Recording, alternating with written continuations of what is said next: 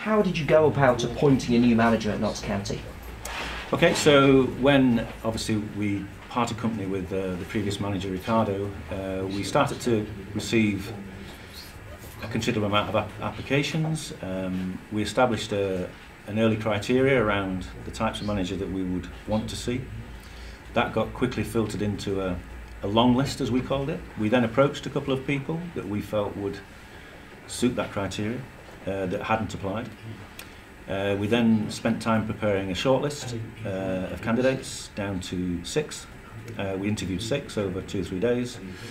Um, then reflected, came back for a second interview with Jamie, uh, and obviously then made the decision in the announcement. So it's What- been a fairly intense uh, couple of weeks. Most definitely. When did Jamie Fullarton start to grab your attention, and ultimately, why choose Jamie Fullarton as Notts County's next manager? He grabbed our attention early actually because the application came in, um, and then quite by coincidence, uh, I was speaking to a, a football club owner and a football club chief executive about players, um, and they both took the opportunity to um, offer a recommendation, which I accepted wholeheartedly. Both talked about Jamie. I didn't let them know in any way, shape, or form that he was under consideration.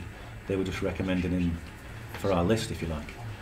Um, then obviously the interview, which is a key part of um, uh, the process, he came over unbelievably well prepared, uh, very detailed, very sort of fastidious, but I think more importantly, really open and very direct. Um, I've said to other people, I've, I've worked with first-time managers before, and quite often you feel like they've they've been preparing themselves throughout their careers to get to this point where they're waiting for this opportunity.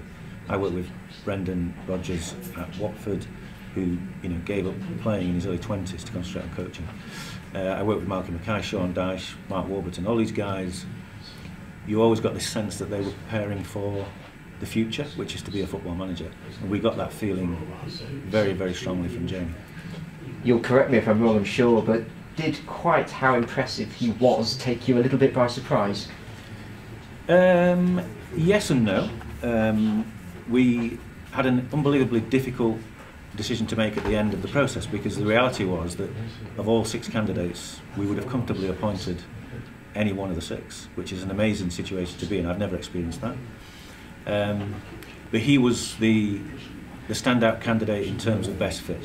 Um, and yeah, okay, uh, he was impressive, but so so were a lot of the others. There are Notts County fans out there who are unimpressed with the appointment. There are a lot pointing towards the lack of experience in, in what their eyes is a similar way to Ricardo Moniz before. So, what would you say to those supporters? every manager uh, won't please everyone, and, I understand uh, the history here of uh, certainly in the, the tenure of uh, Ray Nailing uh, that we've had a number of first-time managers uh, of, of relative inexperience.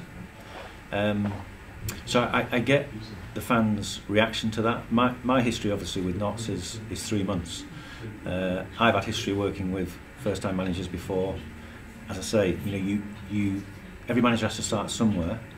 Um, this guy uh, has demonstrated a lot of the attributes, a lot of the qualities that I've seen in others, and therefore I, I'm less um, uh, bothered by the fact that he's a first-time manager. But I 100% understand how fans would feel here because there has been a history of first-time managers, you know, not succeeding. But it would seem you think you've got someone special here. Yeah, I, I think he's a fantastic fit for the football club. I, I think I'm not going to call him a special one. Don't don't take me down that road.